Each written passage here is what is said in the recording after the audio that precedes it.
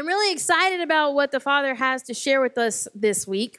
The title of this week's Torah portion is Vayigash, and it's translated as "And He drew near." But as I began to look at this particular Torah portion, and by the way, there are so many things that are powerful, amazing shadow pictures. And to be honest, David and John were already all over them the past two weeks and the portions leading up to this because this is all about something that the Father is doing with his house, with his people, and there has to be a unity that takes place. The people have to become unified in order to do what they've been called to do. Amen. But the amazing thing is that the background of this unification that takes place, it happens, it doesn't happen during times of plenty. How many of you realize that? It doesn't happen when everything's going great. It happens in the midst of the famine.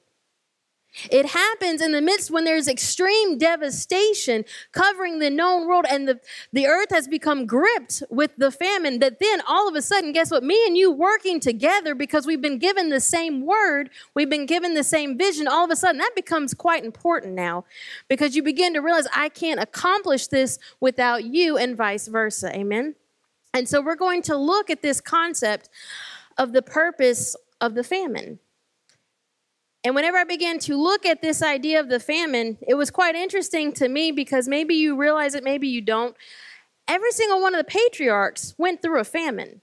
And when we begin to look at this and we understand the spiritual implications as well, my goodness, how could the ones that were given a promise, the ones that were given a vision, the ones that were called and chosen, they had to go through a time of famine. And so as we begin to look at this, we're going to begin to delve into this question what's the purpose of the famine?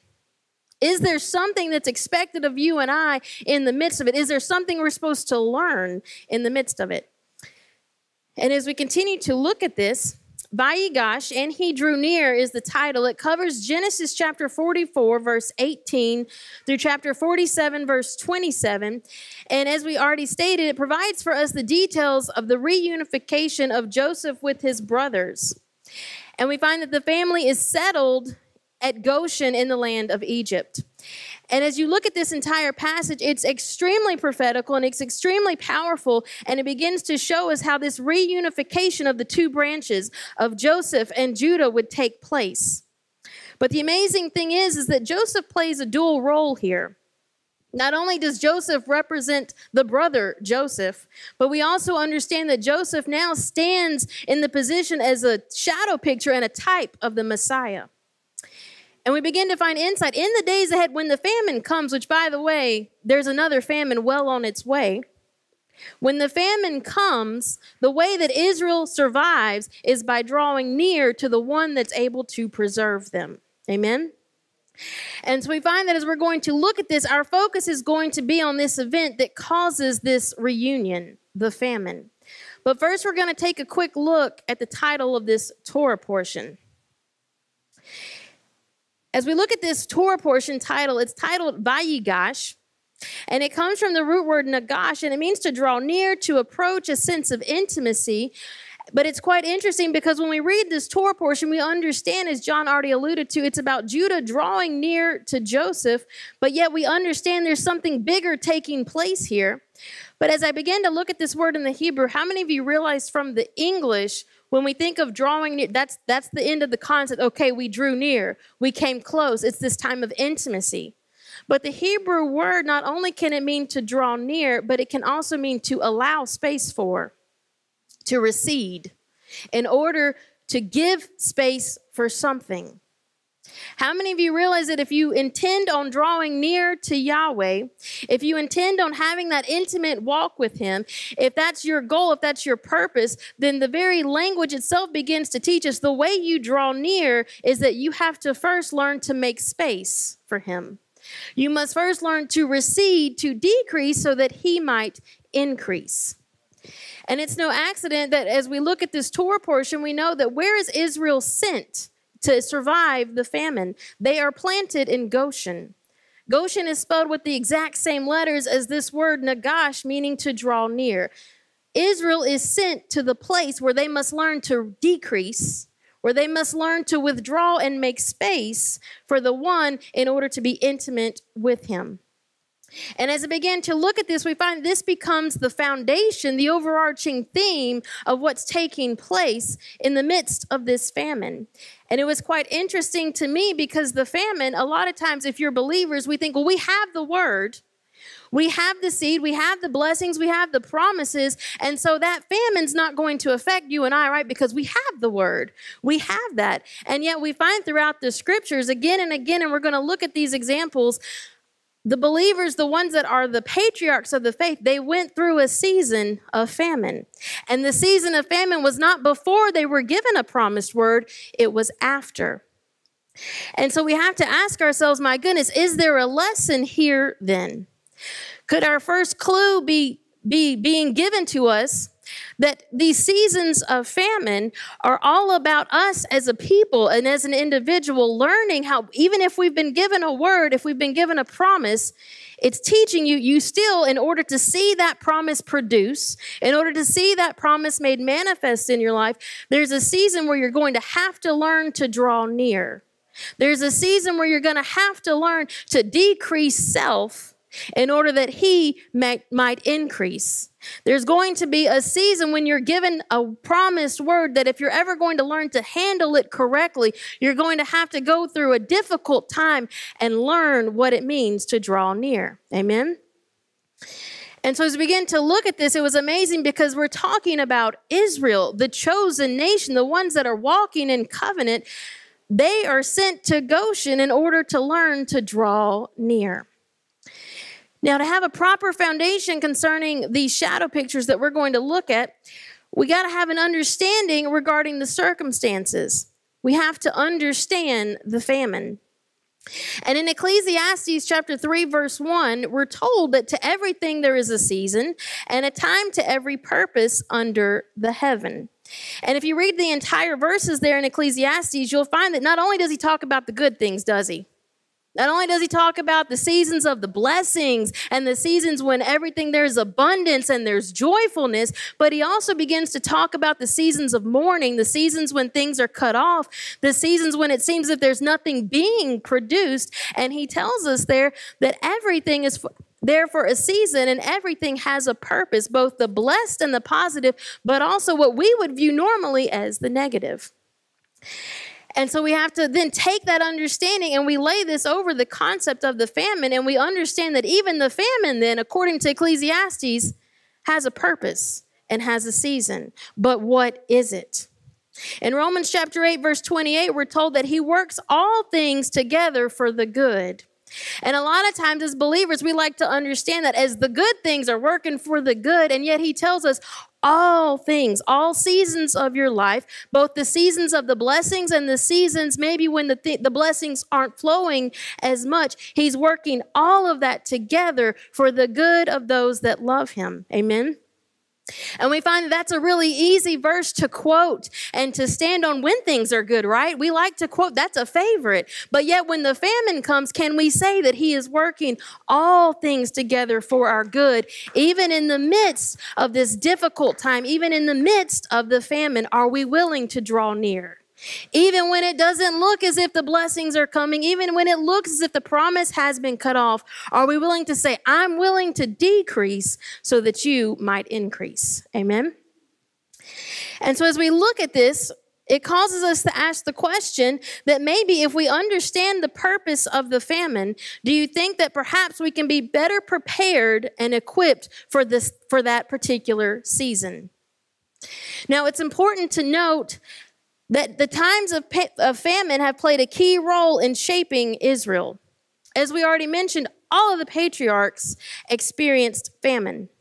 There was famine in Abram's day. In Genesis 12:10, in Isaac's day, in Genesis 26:1, and of course we understand there was famine in Jacob's day because that's what this Torah portion is all about. If you fast forward, we find that there was famine in the days of Ruth and Boaz in Ruth 1 1. There was famine in the days of King David in 2 Samuel 21, in the days of the prophet Elijah, and in the days of the prophet Elisha, and more. And as you begin to look throughout your scriptures and you begin to look at these patterns of the famine that takes place, we understand that some of these famines were an obvious judgment from Yahweh. Israel was disobedient. Therefore, the famine becomes part of the judgment of Yahweh to get them back on track, to get them back to where they need to be. But there's some of these others in the days of the patriarchs, for example, that just seem to be part of the cycle. We're not necessarily given a reason. In fact, when you look at the first time you see this in the days of Abram, Abram was just obedient to what Yahweh told him to do. He goes forth and he enters the promised land, and then we're told in the statement, now there's a famine. And so we have to ask ourselves, my goodness, when I've been obedient to do what you told me to do, and I enter into these seasons of famine, what's the purpose? What's going on? Because how many of you realize if we're not careful when we enter those seasons, and we don't understand their purpose, there's a chance for us to get discouraged. There's a chance for us to allow that promise, that word, that seed that He planted inside of you to lay by the wayside and not produce. And so we have to understand what's the purpose. And of course, one of the most famous ones that is often quoted in regards to the end times, it's Amos chapter 8, verse 11. Behold, the days come, saith Elohim Yahweh, that I will send a famine in the land, not a famine of bread, nor a thirst for water, but of hearing the words of Yahweh. And so we understand that in the end days, there's going to come a famine once again. And it's interesting because we often quote and declare, oh, we're the Joseph generation because when the famine comes, we're going to be the house of plenty and we're going to be able to take care of the house. And this is what this is all about. And yet we understand as we begin to look at this, if we don't understand the purpose of the famine, then we may not measure up to be that Joseph generation. Amen. And so it seems as if the famine actually becomes a time of maturation. How many of you realize you don't grow without growing pains? How many realize you can't labor and birth something or produce something if there's not that travail in order to see it come forth? And so we find that as we begin to look at this, it seems as if the house can be given a word, they can be given a promise. Israel was the chosen people. But if they're ever going to produce what Yahweh expects them to produce, there's going to have to be some squeezing. There's going to have to be some shaping, some molding, some things that are going to force them out of their comfort zone and feel those pangs in order to be, you know what? I'm going to draw near regardless and see the word that they've been given produce. Now let's look at this word for famine. It's Strong's number 7458, Ra'av, and it means famine or hunger. It comes from the root word, Strong's number 7456, Ra'ev, and it means to be hungry, to be voracious. But it's quite interesting that when you begin to break this word apart, how many of you realize that every single letter has a picture, has its own definition, its own meaning that it's lending to define what this truly means? And so when you break apart this word, we have the resh ayin root. The resh ayin root forms the word ra. And most often we understand and we see this word translated as evil or bad. But when you really begin to look at it from a Hebraic understanding, a more accurate definition in a lot of places would be dysfunction. Something is not functioning in the capacity or manner in which it was created to, and therefore it is now ra. Now, it can be extremely dysfunctional and therefore evil or bad, but it could also be slightly dysfunctional in the sense that it's not functioning at the full capacity, and there's some things, some gears that need to get in place. There's some things that need to happen in order for it to do so. Amen? And because we understand that it's the opposite of tov, which is good. And the definition of good, after Yahweh creates everything, he calls each day at the end, this is good, this is tov. Why? Because he just created it and it was functioning in the way it was designed and created to do. Everything was doing exactly what he had designed it to do. Everything was tov. And so we find that this root, this resh ayin root, dysfunction, is connected to the letter beit, which represents the house. And so when we look at the word famine, it literally seems to be inferring that the purpose of the famine, perhaps, is to reveal dysfunction in the house. How many realize the scripture always talks about that where does judgment start? It starts in his house first. And so, though the famine may affect the world, the true focus of the famine and the plans of the famine is that it's going to do something inside his house. It's going to reveal perhaps some areas that maybe we're not functioning at the full capacity we should be. But it's not just to point the finger and shine the spotlight on that. Instead, it's to gear, it's to poke us, to prod us in order to step up to the plate and to function in the capacity we were called to. Amen. So, as we begin to look at this, do you think that maybe then the focus and the goal of the coming famine of Amos chapter 8 is for the specific purpose of shaking the house in order so that that house, that people, that group of individuals that have been given a promise, have been given a word, that they'll begin to step up and begin to walk in the full power and authority that's associated with that promise and that that promise requires. Amen. And so we find that the goal of the famine seems to be from the word picture, it's a catalyst. It begins to ignite a fire in the house and it begins to jumpstart maybe some gears that have become so stuck and broken down and they haven't really been moving and he begins to oil it up and now we're beginning to move. Now we're beginning to do the things. Now we're beginning to function again in the manner that we're called to how many of you under, realize that if we understand the message of the famine, then we'll understand why we're going through this and we'll learn to draw near in the midst of it. And this becomes the result. Because we realize that when we begin to look at the concept of a famine, we understand that the famine for some will be a season where it's nothing but devastation. There's no harvest, there's nothing being produced.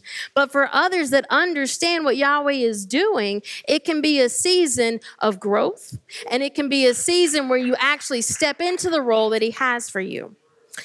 Amen. And some of you may think, I don't know about that, but you're going to see, we're going to go through each of the examples, and you will see that in every one of the lives of the patriarchs, that's exactly what happened. So now let's continue to look at this. We were looking at that two letter root, the resh ayin. Well, it's interesting because this two letter root also forms the word rea. Strong's number 7452, and it means a shouting or a roar. And it's only seen a handful of times in the scriptures, but the one that immediately left off the page at me is Micah chapter 4, verse 9 and verse 10. And it says, Now why dost thou cry aloud? Why dost thou rea? Is there no king in thee? Is thy counselor perished? For pangs have taken thee as a woman in travail. Be in pain and labor to bring forth, O daughter of Zion, like a woman in travail. And when you continue to look there in Micah chapter 4 and the following verses, he begins to talk about the ones that have been scattered, all of Israel, and that as this, these labor pangs begin to take on Zion, it's the house being gathered. And now at the end of this travailing, it's the house that's reborn, and they're able now to come along and do what they've been called to do. And it's a power prophetical prophecy concerning concerning the days ahead. Amen. So as you look at this term Maria, this resh ayin, it's a specific cry that's associated with the laboring in order to bring forth Zion the redemption of the whole house. And for that group of people to be capable of functioning in the way that Yahweh created and intended for Zion to function. How many realize that the Zion today, as David alluded to last week, that's not the way that he intended it to function or to be? It's missing strategic parts of the house, first of all. And so, therefore, it can't fulfill what it's been called to do. And yet, we find that the days of famine are going to be quite strategic in causing the true Zion to be birthed instead. Do you think that the famine has a role in birthing the house? As long as Israel does not function in the capacity that Yahweh intends for us to, how many realize that then it's as if, in a sense, Israel does not exist? If the ones that are meant to stand upright and represent Yahweh in the earth are not doing that, well, where is Israel? Where are the ones that are willing to do that? And so we find that the famine becomes quite strategic because the times of the famine are designed to launch you into the role that he declared over you. You are to be the ones that will stand upright. You will be the ones that will walk in the power and authority. Why? Because in the midst of the drought, in the midst of the famine, in the midst when there isn't plenty, when there's devastation all around, you're able to stand up and declare, even even in the midst of this, Yahweh is enough. Amen. And so we find for some it's a season of no growth, no fruit being produced, but for those that are able to draw near, yes, it's a difficult time. Yes, it's a painful time, but it's labor pains. Something's going to happen. Amen. And as we continue to look at this, I decided to look at the word Zion. And it was interesting because David touched on this last week. But when I went and looked at the definition that's given in the concordances, it was quite interesting because it fits perfectly with this topic of the famine. Zion is translated, Strong's number 6726, Zion, as parched place, dryness, drought, inferring famine. And yet it's also closely related to the word ziyun, meaning landmark, signpost, a pillar, a monument. And so when you see this name Zion, which Yahweh is declaring that this is where I'm going to dwell, this is the name of my united people, it's a people that have labored in the midst of the famine, the parched place. And because they have labored in the midst of that, it has become a signpost, a monument that gives the house direction on our journey. Amen. How many of you realize the famine is designed to steer the house, to ensure that the house will stay on course? Because it becomes the difficult seasons that you're able to look back on and say, my goodness, there's the landmarks, there's the monuments. Because, hey, remember two years ago when we went through that season where it seemed like we weren't going to make it across that season of drought, we're here today. There's one landmark. And then you fast forward, remember that season that we didn't think we were going to make it, where it didn't seem as if Yahweh was hearing us. We made it. We're still here. And so Yahweh allows those seasons of the difficult times and they become landmarks, they become monuments they become a sign that continues to steer the house. Amen? that continues to remind you that whenever you happen to find yourself in that time of famine, dryness, and drought, there was one that just a few times ago was enough then, and he's still enough now. Amen? And so we find that these times of dryness and drought, they actually become pivotal in allowing you to have clearer direction concerning the vision Yahweh has for you. Why? Because it's in these seasons that you're to draw near. You can be given a word, you can be given a promise, but if we don't fully understand that word, if we don't understand what to do with that promise, my goodness, we have the potential to mishandle it, and it's still not going to produce until we take the time to draw near and gain understanding, gain, gain clearer vision. You can be given a word, but if you don't know how to handle it, my goodness, it may just find itself laying by the wayside. Amen? And so now we can understand, my goodness, these times of famine, maybe they're a little bit more important than we thought. Because how many of us maybe have some promises, some visions that we were given, and we can look back and the sign mark, the posts, the signs, the landmarks show us, oh, we kind of handled that one a little wrong. Um, we kind of messed this one up. And so now we, enter, my goodness, now we begin to mature and we're like, wait a minute. I may be given this word, but I need to go through this season where I learn to hear, where I learn to draw near, where I learn to diminish self and what I think concerning this word, and instead allow Him to speak and tell me why. As we continue to look at this, the numerical value of Zion happens to be the same value, 156, as the name Joseph. Joseph. Joseph's name means Yahweh has added, increased, or will do again. Now you can understand why it is Joseph that is sent down into Egypt to prepare the way. Joseph's name literally declares that in the midst of the coming famine, Yahweh is still able to increase, to add to, and he will do it again.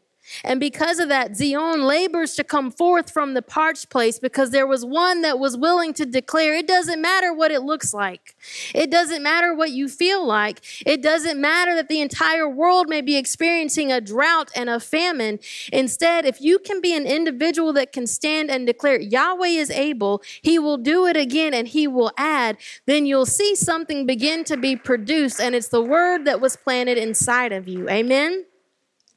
I don't know about you, but maybe that doesn't make you excited. But if you happen to be an individual that has been through that season or is going through it and you understand, my goodness, there's still hope.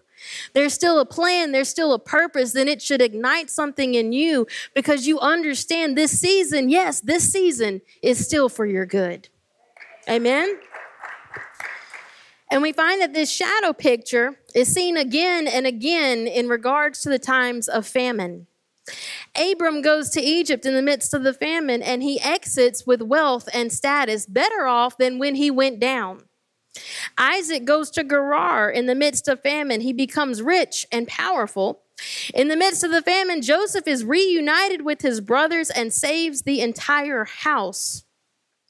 Due to circumstances spurred on by famine, we find that Ruth is grafted back into Israel. And when you understand who Ruth was, she was a Moabite.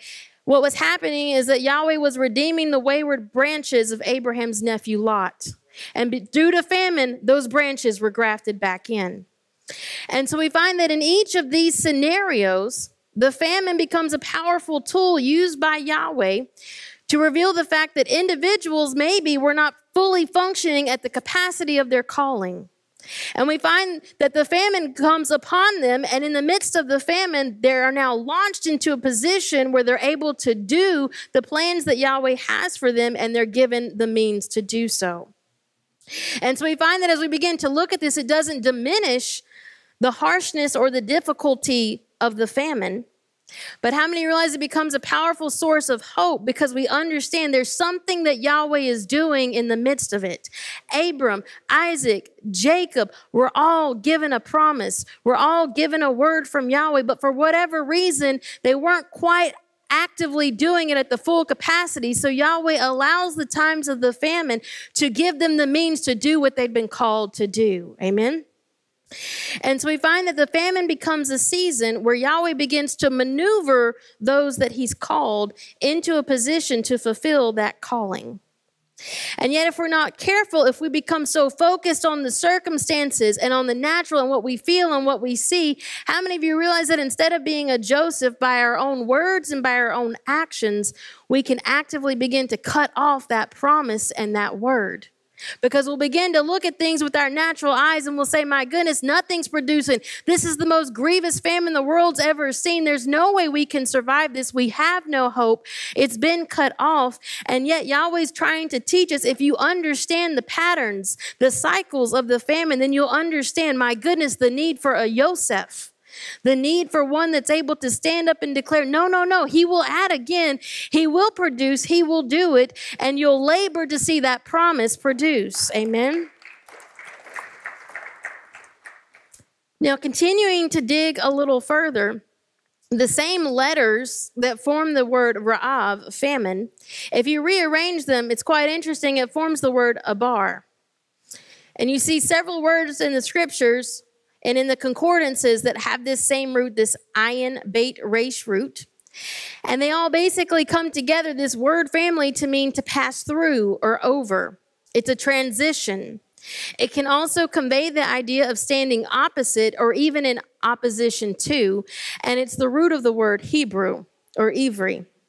And so when I saw this connection, I was like, wait a minute. How many of you realize that a lot of times when we begin to define what we are, oh, we're Hebrew roots, we're Hebrew, Abraham's the first Hebrew, and we talk about, oh, it means one that's crossed over. Crossed over what?